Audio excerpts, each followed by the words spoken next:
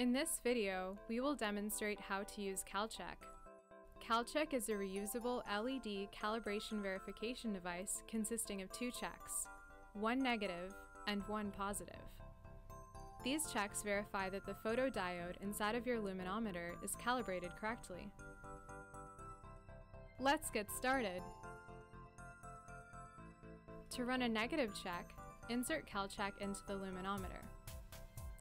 Be sure not to press the button on the cap, as this would activate the device for a positive calibration check.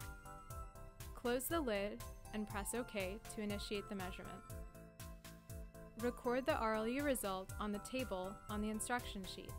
These measurements will serve as a reference for future calibrations.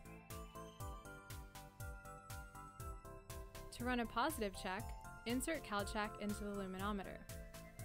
Press the button located on the CalCheck cap to turn on the device. The button will glow green to confirm activity. Close the lid and press OK to initiate the measurement.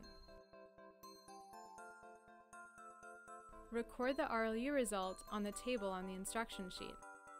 If additional positive calibration tests are needed, wait two minutes between each positive reading. Repeatedly activating CalCheck may prematurely drain the battery.